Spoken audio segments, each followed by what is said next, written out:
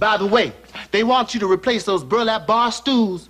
It seems a couple of people got broke burned. Well, now we have some sad news to report. Tonight, Hollywood mourns the death of one of its favorites. Nancy and Rob, designing women star Meshach Taylor passed away this weekend after a long battle with cancer. So today I sat down with and spoke to his longtime friend and former TV wife on Designing Women, Jackée Harry, about this really sad loss. Georgia, Georgia. Meshach was so talented, he even sang the show's theme song during tapings. He was a sweet soul. All the designing women loved him, and today Jackée was mourning her good friend. He, Meshach, was a gift. And um, if you never saw him, I'm sorry. You missed it. I love it when a man's first words are, I'm sorry. well, well, now, actually, darling, I think what I said was, what the hell do you think you're doing? Taylor passed away Saturday at his home. He fought cancer bravely until the end at age 67. How long had he been battling cancer? He's been battling cancer two and a half years. When you heard that he did indeed pass, what did you, how did you react? Oh, no, I was okay.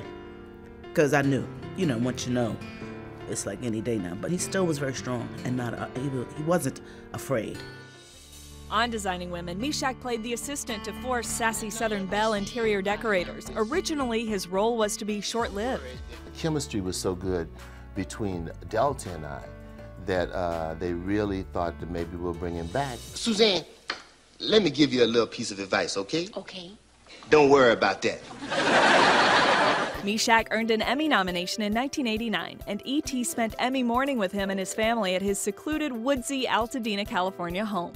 It's really quiet up here. A nice uh, break from Hollywood. It was clear that family meant everything to him. This is my daughter Yasmin, and she's an African American princess. Yeah, wash your hands. Recently, Meshach had been in hospice care for his cancer, but he loved acting so much he continued to work. He appeared this season on Criminal Minds with his longtime friend Joe Mantegna, and you could hear in his voice how sick he was. My son Thomas and his wife live on the other side of those hills.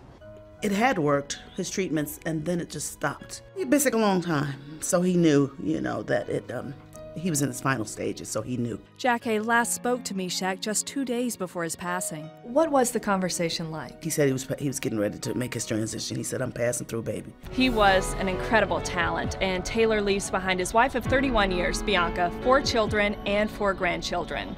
He will be missed. We're coming right back.